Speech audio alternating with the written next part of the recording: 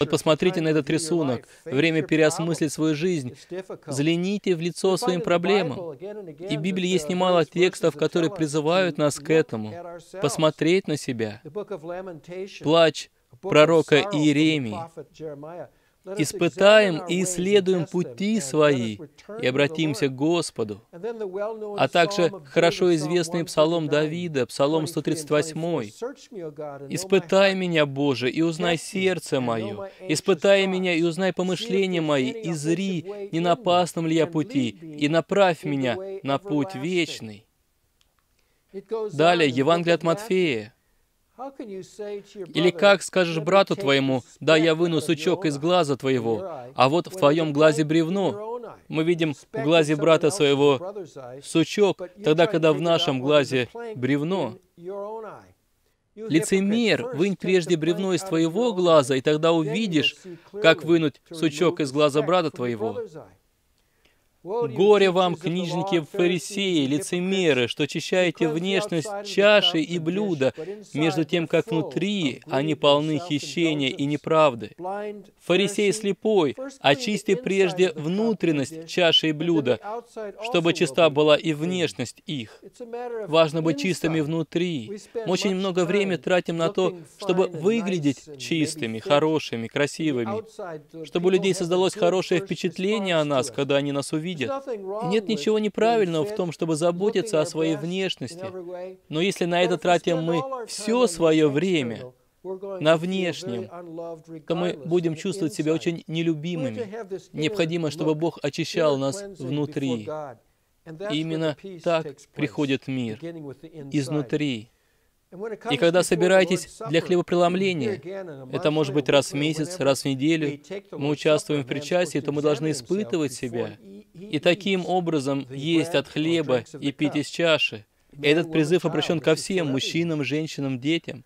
Лэри Краб в известной книге «Внутренний мир» написал, Честный взгляд на те фрагменты нашего жизненного опыта, которые мы естественным образом склонны отрицать, дело болезненное — болезненное настолько, что сравнимо со смертью. Но чтобы измениться, как к тому призывает Иисус, мы должны посмотреть в лицо всему, что нам гораздо комфортнее отрицать. Подлинные перемены требуют взгляда внутрь. Достаточно только посмотреть на современную рекламу, чтобы в этом убедиться. Все посвящено внешности, тому, что люди видят, что бросается в глаза. Но Бог говорит, что Он смотрит внутрь. И это то, что на самом деле важно. Но мы боимся вглядываться внутрь себя, даже зная, что это принесет нам мир.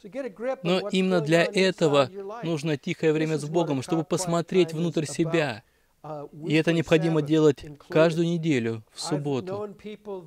Я знаю людей, которым очень сложно усидеть на месте спокойно, потому что они не хотят смотреть внутрь себя. Это сильно их расстраивает. И они постоянно куда-то спешат, чтобы только не останавливаться и не обнаружить то, что внутри себя. Итак, как же мы пересматриваем свою жизнь, представая перед Богом? Я опять хочу привести эту иллюстрацию с луковицей, когда слой за слоем она очищается. Давайте посмотрим на то, что мы говорим, так как в Библии очень много говорится о наших словах. Лоис, не могла бы ты прочесть то, что Иисус сказал в 12 главе Евангелия от Матфея о наших словах? Матфея 12, 34 порождение ехидны. Как вы можете говорить доброе, будучи злы? Ибо от избытка сердца говорят уста. Добрый человек из доброго сокровища выносит доброе, а злой человек из злого сокровища выносит злое. Говорю же вам, что за всякое праздное слово, какое скажут люди, дадут они ответ в день суда. О необходимости следить за своими словами написано в книге Притч, но также и в Новом Завете, в книге Иакова. им благословляем Бога и Отца, и им проклинаем человеков, сотворенных по подобию Божию. Из тех же уст исходит благословение и проклятие. Не должно, братья мои, сему так быть. Ничего себе!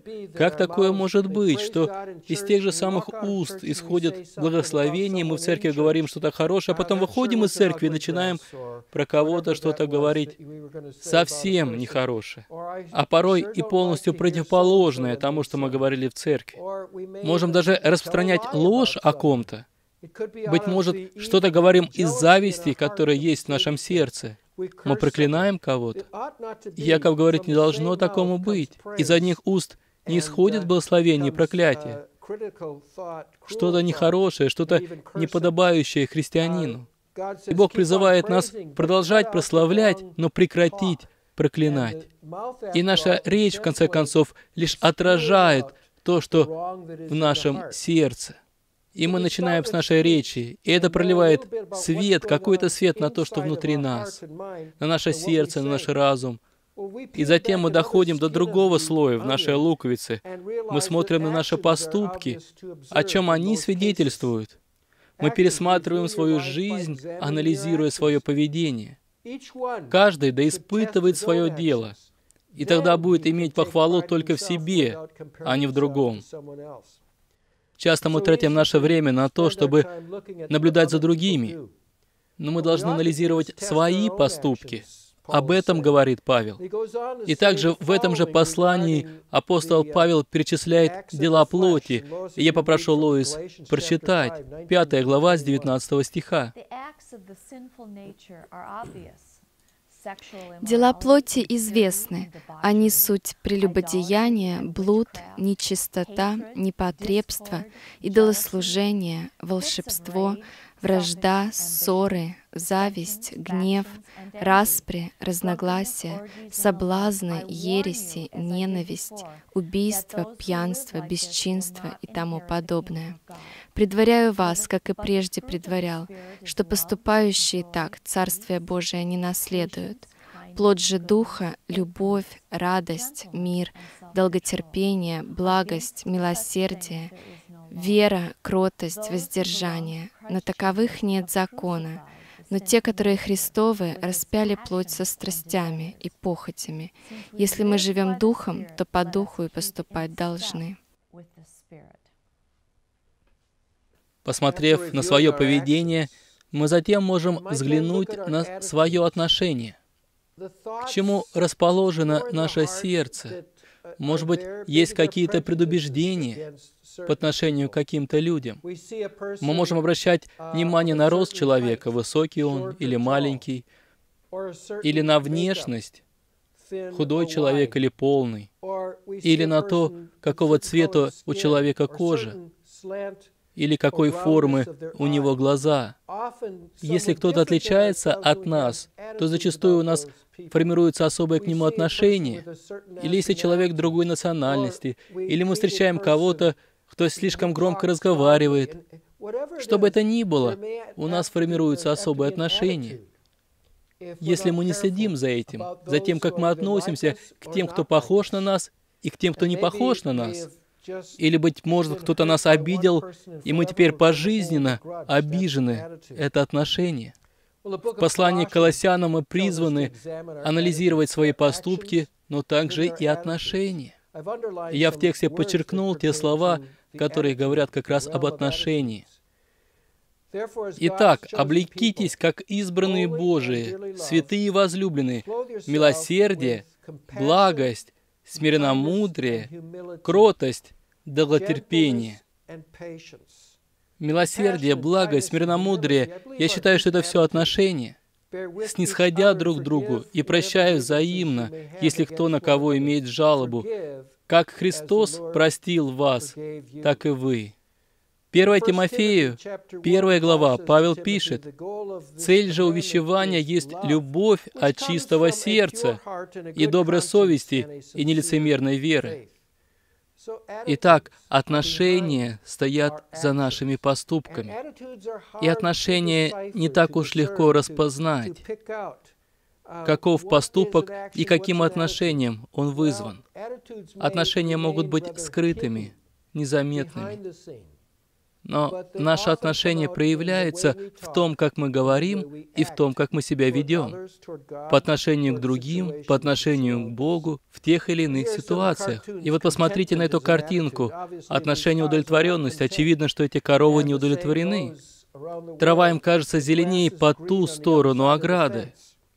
И часто своими поступками мы показываем собственную неудовлетворенность тем, что Бог дает нам, какими Он нас сотворил. Когда мы завидуем кому-то еще, желаем, о, если бы я был как Он, о, если бы у меня было то, что есть у Него, скажем, Его рост, Его голос, Его способности, если мы не удовлетворены тем, какими Бог нас сотворил, то это отношения.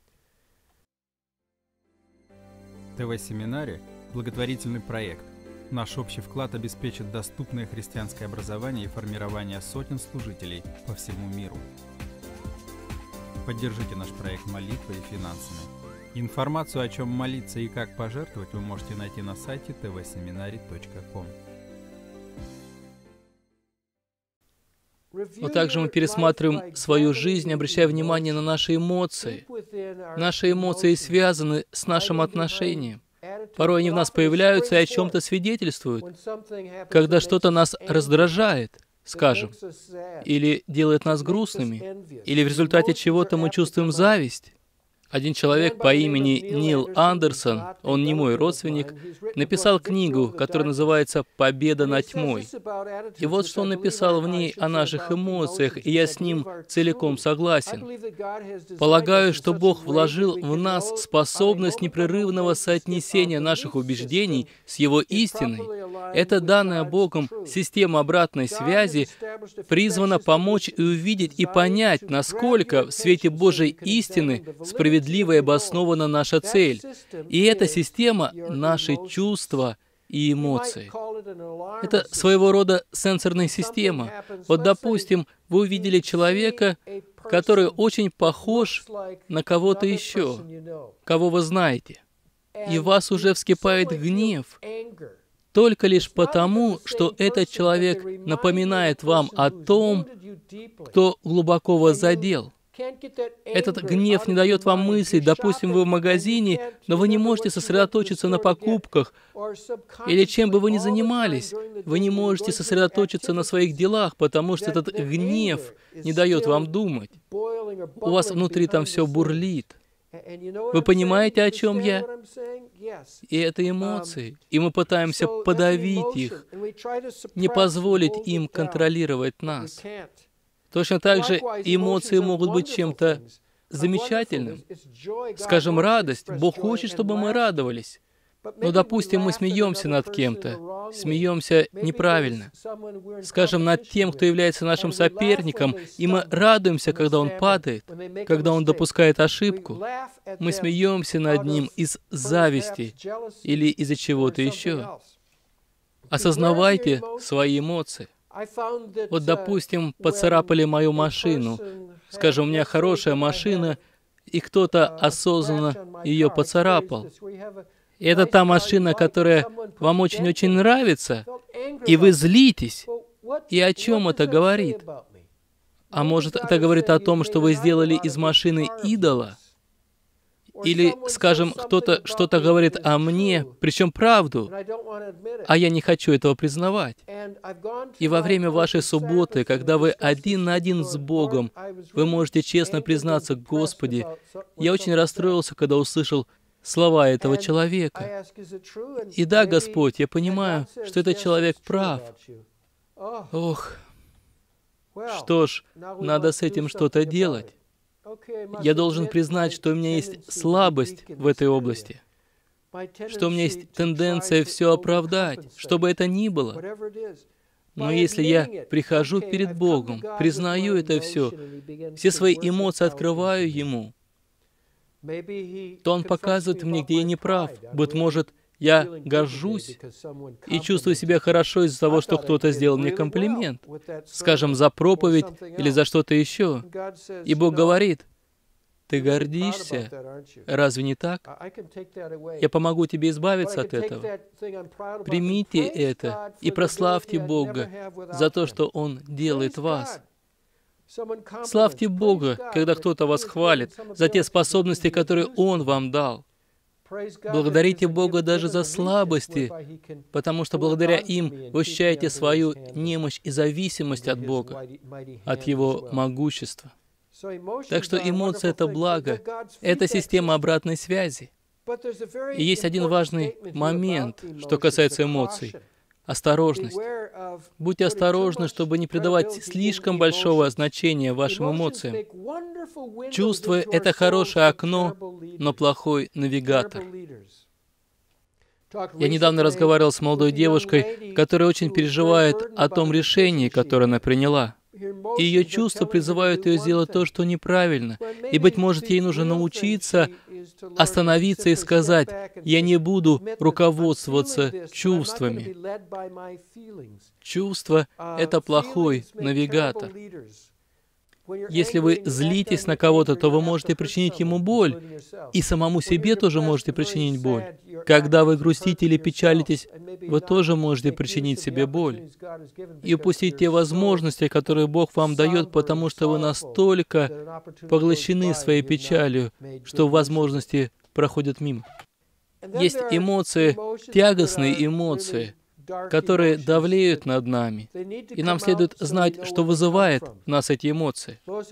И Лоис сейчас прочитает из послания Галатам 5 главы о хороших и плохих эмоциях. Дела плоти известны. Они суть прелюбодеяние, блуд, нечистота, непотребство, идолослужение, волшебство, вражда, ссоры, зависть, гнев, распри, разногласия, соблазны, ереси, ненависть, убийство, пьянство, бесчинство и тому подобное. Предваряю вас, как и прежде предварял, что поступающие так Царство Божие не наследуют. Плод же Духа — любовь, радость, мир, долготерпение, благость, милосердие, вера, кротость, воздержание, но таковых нет закона. Но те, которые Христовы, распяли плоть со страстями и похотями. Если мы живем духом, то по духу и поступать должны. Вот вы видите в этом тексте указание на отношения, поступки и эмоции. Скажем, ненависть — это эмоция. Любовь — это, быть может, отношение. То же самое можно сказать о радости. Радость — это эмоция. А также, если мы задумаемся, то и мир — это эмоция. А что-то может быть одновременно и тем, и другим. Скажем, и поступком, и эмоцией. А что-то еще и отношением. Получается три в одном.